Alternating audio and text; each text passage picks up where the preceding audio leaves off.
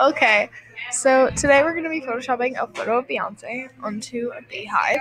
So we already opened the photos, and so we're going to start off by selecting the quick select tool and holding down and selecting as much of Beyonce as we can.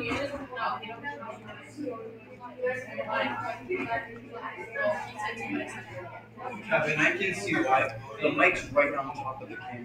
So if you're holding it like this, if you're holding it like this, Once you're done selecting her, you can do Control C to copy it. And then we're going to select the other image, do Control V to paste her.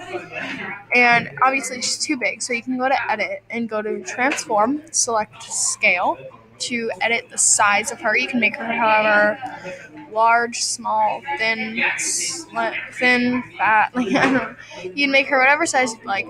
And once you've gotten her to your preferred size, you can go back to edit, go down to transform, and select rotate to rotate it to whatever position you'd like. And once you're happy with her position, that's pretty much it. You can dry her around. Yeah.